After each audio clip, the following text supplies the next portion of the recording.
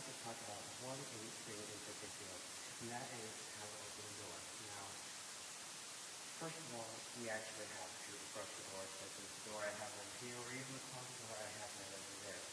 Now, as to be possible. First of all, you can bash the door in. Secondly, you can walk around the door such as the door with a, the weird guy has this